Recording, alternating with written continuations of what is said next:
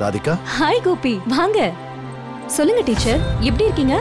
உங்க பிசினஸ் எல்லாம் எப்படி போகுது? எனக்கு லோன் வேணும். லோனா பிசினஸுக்கு கொஞ்சம் பணம் தேவைப்படுது. இவ்வளவுதானா? பேங்க்ல நிறைய லோன் தராங்க. கண்டிப்பா என்னால முடிஞ்ச உதவியை நான் செய்யறேன். ஏன் ராதிகா?